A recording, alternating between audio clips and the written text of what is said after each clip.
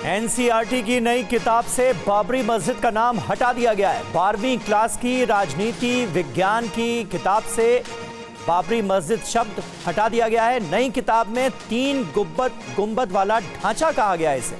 अयोध्या वाले अध्याय को दो पेज का किया गया है। नई किताब में सुप्रीम कोर्ट का फैसला भी शामिल किया गया